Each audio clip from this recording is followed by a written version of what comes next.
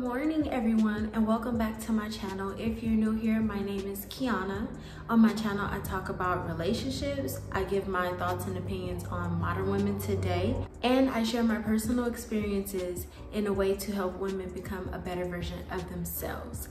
Today, I'm gonna be having a little chit chat with you guys and today's topic, as you can tell by the title and the thumbnail, the reasons why men don't want to get married. So before I get started, go ahead and hit the like button, hit the subscribe, and the bell next to it so you can be notified when I upload new videos. Now, let's go ahead and dive right into this topic. The first point I'm gonna be talking about today is monogamy. And the biggest reason men don't want to get married is because women expect men to give up their natural instinct. Think about it from the food chain and like animals men are like the hunters and women are like the prey. So when men like to pursue or go after more than one woman, it's not really cheating. It's in their nature to hunt. Some men fight the urge of what feels natural to them, so they commit to a monogamous relationship. But then somehow later down the line, they start feeling unfulfilled. It's not much a woman can say or do for a man in order to make this natural urge to hunt go away. Some men ask for threesomes, and then some men don't. Some men actually express themselves to their woman that they have this urge to be with more than one woman. You have those that don't express themselves to their woman and they go out behind the woman's back and do what they want to do just because they know the woman is going to feel some type of way because she does not understand this part of him. Women say they want an ambitious man. Okay, ambitious men want to have more than one of everything in life. So why is it that the ambitious man can have more than one car, more than one house, more than one business, but then that's just magically supposed to stop when it comes to a woman. And the reason why men don't want to get married because of the monogamy that comes with marriage. When men jump over the broom, they feel like they're being neutered and being stripped away of their masculinity and what comes natural to them. I know you guys are probably like, well, what about the men that don't want more than one woman? Okay, even for the men that don't want more than one woman, they just don't like to feel like they're being tied down. That's like putting a restraint around his neck and keeping him on a short leash. A possessive woman is a turnoff for men. A man is not a woman's possession and she definitely cannot control him. The next point is some women are conditionally feminine or will go along to get along until that moment when she feels like she doesn't want to be a good woman anymore. Men want to know that their woman will submit to him with no problem. And that's like allowing him to lead and make decisions in the relationship. And the problem with this is society has made women think that they can use what they got to get what they want from men. And then once they've gotten those things, they can just go ahead and start showing their true colors or cut the guy off. Men are afraid to commit or even be married because they don't know what type of person you're going to be in the next three years or six months for some women, but they don't know how you're going to be in the next six months or three years or even after you get married. A woman may stop doing things that she did in the beginning of the relationship because she may think or feel like, like they always do, women use their emotions. They feel like, what's the point? They've already gotten the man. They've done what they needed to do to get him and then they could just become comfortable. And then the woman will assume that the man wants to still deal with her for the rest of their lives, even though she became lazy, even though she don't want to cook or clean no more. And yet he still has to continue proving himself to her. Women feel like men owe them the world, especially when some women don't even want to put in the work for a man. For example, this is what society has led people to believe.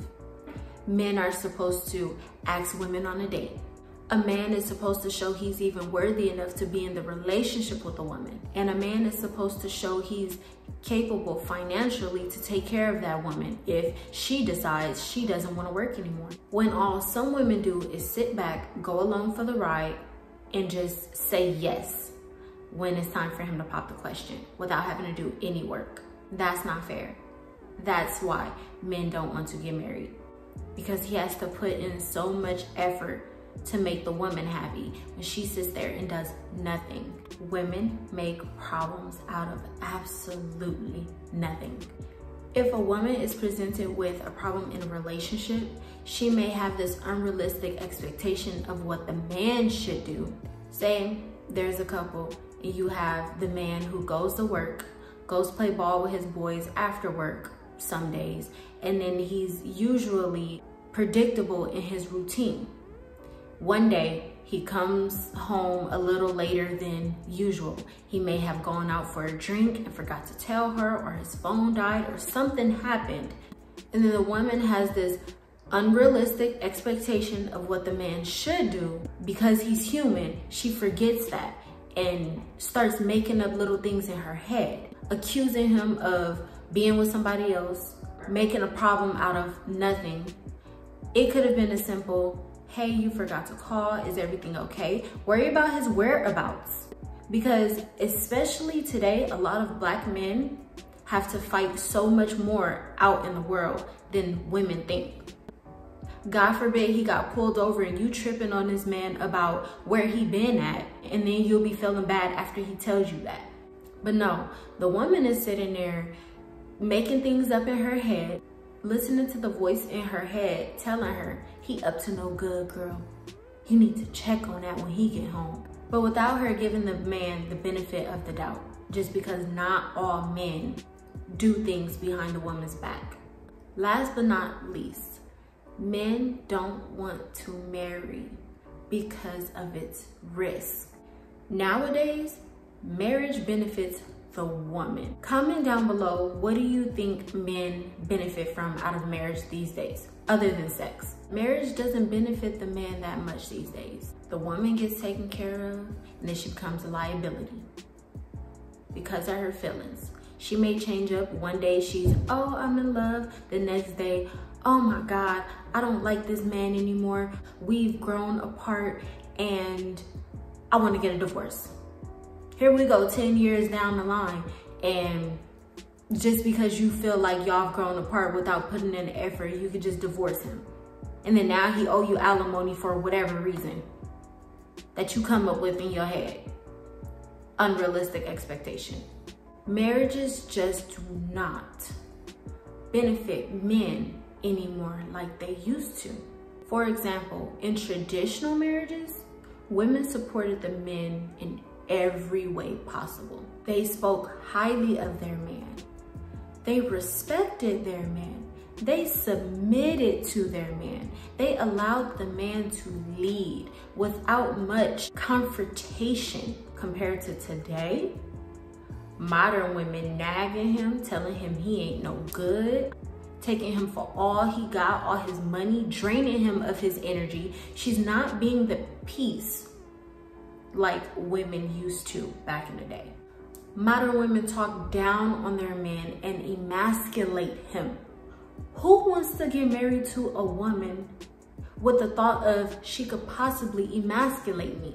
Modern women put themselves above men and make men feel less than, less than worthy of being a man.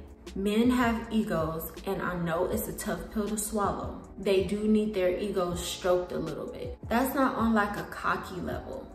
It's just you have to uplift your man in positivity. You know, you have to be positive. Men need to know and feel like they run things. Like I said before, they don't want a woman who is trying to control him nor change him. They need to know that they are the leader, they are the head, and you are the neck you will support him. They need to be catered to without any fuss or fight. They don't want to hear no rebuttals. Men are not that hard to please. And women are very, very, very, very complicated. And they make things more complicated than they need to be. Trust me, I'm a woman. I know. but it's only hard to please a man if the woman resists.